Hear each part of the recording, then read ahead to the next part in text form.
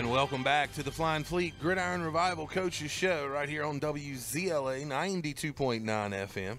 We are streaming worldwide, WZLAradio.com, and on your Alexa devices. Just say, Alexa, play WZLA Radio. We are live at Irene's in Due West. We'll be here until 8 o'clock. And uh, come on by, say hello. We Got some fleet coaches and players and staff and just a whole bunch of people here tonight. We're having a great time and uh, talking some Flying Fleet football. And I have, as a guest on with us right now, Malik Chevry, cornerbacks coach for Erskine. Coach, how you doing? Good, good. Doing pretty good, Benji. How you doing? Man, I'm doing great. Doing great. Glad to have you. I think you were uh, this, this spring. You were we were here, right? Yep. So are you the official Irene's uh, interview? I believe so. I live the farthest away from the other coaches, so they always help me out by keeping me here in Due West. I got you. I got you. It makes perfect sense. Yeah. Uh, Coach, tell us a little bit about yourself. For those that didn't hear us back in the spring, uh, where are you from originally? Um, I grew up in a military family, so moved around a lot as a kid. And then once uh, my my mom got out of the Air Force, we settled down in Powder Springs, Georgia, late Okay. elementary school. So I lived there all throughout high school. So I say I'm from Metro Atlanta, but kind of grew up all over the place as a kid. You know, I think anytime you live within like 100 miles of Atlanta, you're from Atlanta, right? I'll always tell people though, because we have a guy from on our team from the same high school as me. I say, do not say you're from Atlanta. You have to say Powder Springs. yeah, that's you have right. to say Powder Springs. We're not the city. We're the suburbs. Uh, still a big school though there. Yeah, right? seven A school. Wow. Graduated with like 550 kids, so Wow. about 2,000, 2,500 kids at the school. my my whole school was less than your class.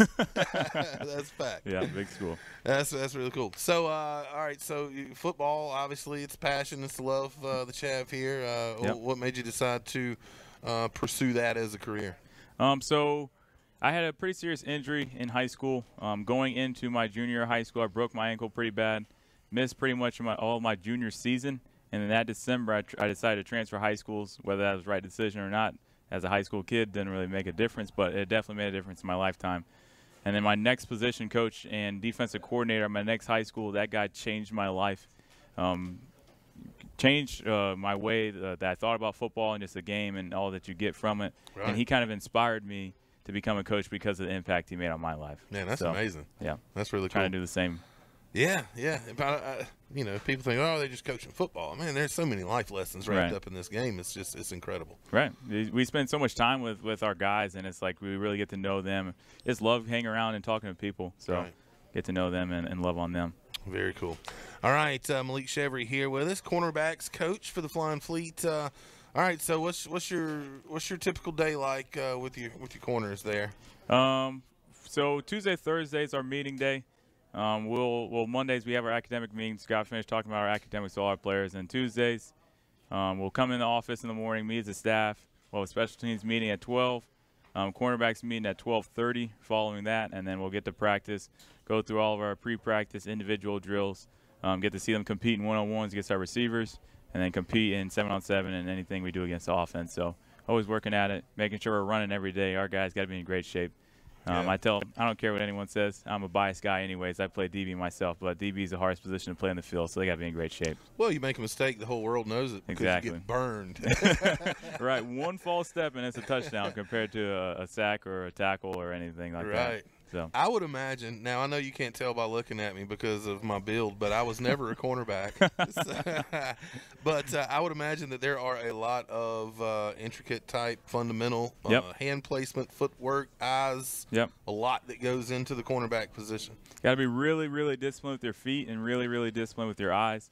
Essentially, your eyes are will be the most important thing because you can get in a lot of trouble having your eyes in the wrong spot. Yeah. Whether on the receiver you're supposed to read, whether on the part of the body that you're supposed to read, whether they should be on the quarterback or not, seeing where the quarterback's elbows, where his elbow looking at you, looking away from you, are his shoulders high, shoulders low, is he going to throw it deep, that kind of stuff. So Wow. it's a lot, a lot of mental preparation. That's a lot to process. And I mean, an average play, I think, from start to finish is less than six seconds. Right. So your pro- the corner has to process all of that in a, in a second or two. Yep. So our, our main goal in, pro- in practice is to to work that stuff and be very tedious in it, especially during fall camp when we practice every day, um, getting after it every single day, like for like 20, 30 days straight. So Yeah. when it gets to the point it's in a game, it's almost second nature to them at that point. So they don't have to think as much. We want our guys to play fast. Right, absolutely. Malik Chevry here with us, cornerbacks coach for the Flying Fleet.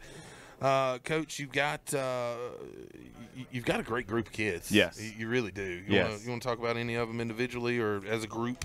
Well, well, I do want to thank a couple of my guys. They came out to, to get some dinner and, and support a little bit tonight. Ja'Cory Tanksley, Khalil Allen, Abraham Timoni. Um, our guys definitely have much more numbers in the spring, but the, the, the talent, overall talent, is much better in our group now. Um, in the spring, we had some guys that were that were decent. They weren't necessarily ready to play in the spring. Had like two or three guys that, that were ready to play in the game, but I think we're getting to the point where got four, five, possibly six guys that we can count on. We know if we put them in, they're going to get the job done. Yeah. Um, we got some guys like Khalil Allen just transferred in this this August, and he he busts his butt every single punt. Um, there was a couple times in the um, I'm trying to think what what game it was. I can't remember exactly what game it was, but we'd motion in our wing, and Khalil would get double teamed like he's an NFL gunner. it was freaking hilarious watching in the box. But next thing I know, he's making a move, splitting them, going around them, Yeah. making the tackles down the field. So that's that was freaking awesome to Yeah, see. absolutely. And I've got some other guys like um, Timoni's been here from the beginning, and he's he's continuing to get better and better. Um, it was it was good to see um, JJ Javen Mack play this past weekend. Mm-hmm. Young freshman just just got here, 18 years old, and like Coach Boyce talked about earlier, that running back from North Greenville was fast. yeah.